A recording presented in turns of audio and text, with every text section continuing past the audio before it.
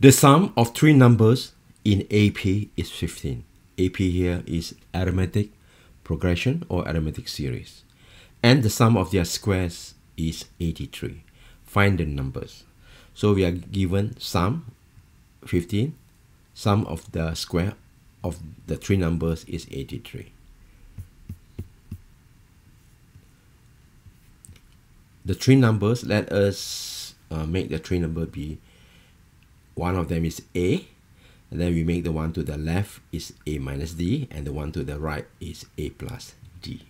Notice that this is an AP. To go from here to here, you plus a D. You go from here to here, you plus another D. So this is an AP.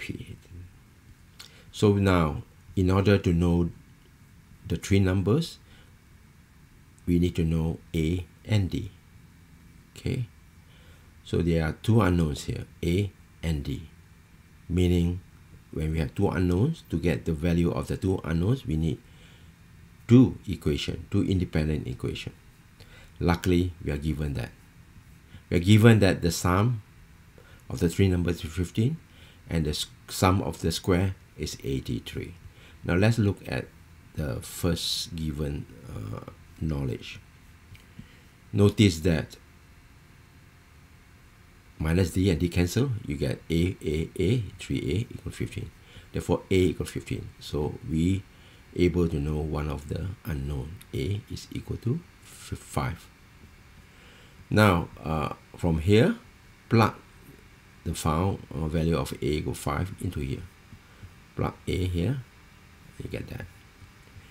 Square this, 5 square, 25, minus twice uh, the cross term, minus 10d, and then you guys know how to do that. We'll let you do that. Equal 83 minus 10d and 10d cancel. You get 2d square plus there are 325 that will be 75 2d square is equal to 83 minus 75 difference is 8 cancel you get d square equal 4 therefore d equal plus minus 2 so now we, we know a equal 5 and d is plus minus 2 okay then this was our original uh, formulation. Now plug a equal 5 and d equal 2 and then a equal 5 d equal negative 2 and then you see that the answer you get is 357 and then here you get 753 and then if you solve it the other way around between so they are identical okay? Side note we can also assume instead of assuming a minus d a and a plus d we can also assume that and proceed as in the above but in this formulation, it's not easy to solve the two equation and two unknown. Since there's no cancellation like this, right? When you add them, this cancel, you get 3a equal to whatever given. Done. Thank you for watching. Hope video is informative, helpful.